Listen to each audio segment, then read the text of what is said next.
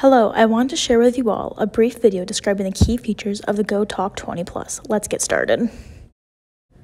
The GoTalk 20 Plus helps children who have difficulty communicating with others. This device is an AAC device which gives all children an equal opportunity to communicate.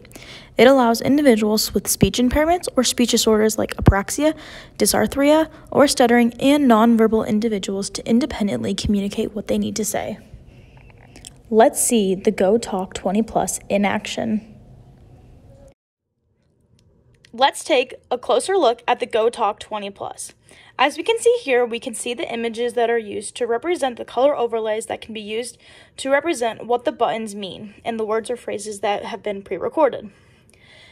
These up and down arrows represent the volume up and the volume down button. This button here is used as the record button.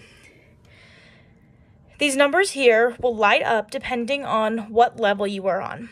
This button here is used as to let you know that you are recording. This slot here is where you would import any of the overlay tabs. Let's take a closer look at the back of the device.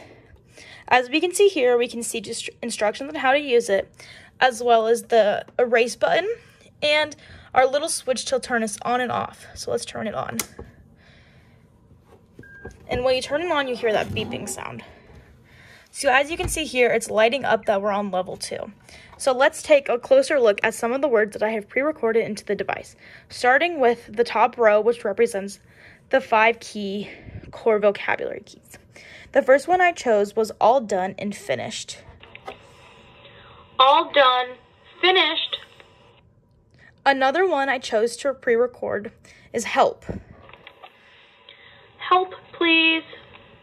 An example of that I chose to incorporate as my other um, pre-recorded phrases was drink. Drink, please. The GoTalk 20 Plus will read words and or phrases to you. The buttons are based on the pre-recorded words that are in the device. Also, the device allows children and adults to record the words or phrases that they feel are important to use in their day-to-day lives.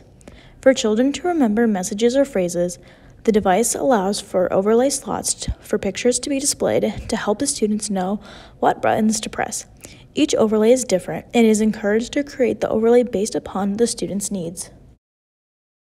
Some of the features of the GoTalk 20 Plus include recording and storing words and phrases. There are five levels. Each level includes 20 words or phrases. The device also includes five core vocabulary keys.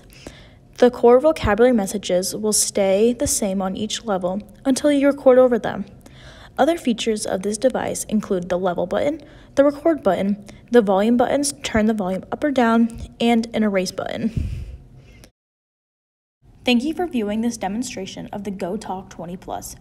To borrow this device for free to try with your students receiving special education services, please visit education.atforall.com. Devices may be borrowed for up to 60 calendar days.